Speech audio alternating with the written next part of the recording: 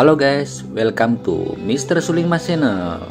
Pada episode kali ini akan saya sajikan salah satu pertandingan catur yang sangat menarik antara pecatur Argentina Alan Pichot melawan James. Di pertandingan ini Alan Pichot melakukan langkah-langkah yang sangat luar biasa sehingga dapat mengkandaskan perlawanan dari James Wu dengan skak yang sangat luar biasa dari pion dan menterinya. Tanpa basa-basi langsung kita saksikan aja guys videonya.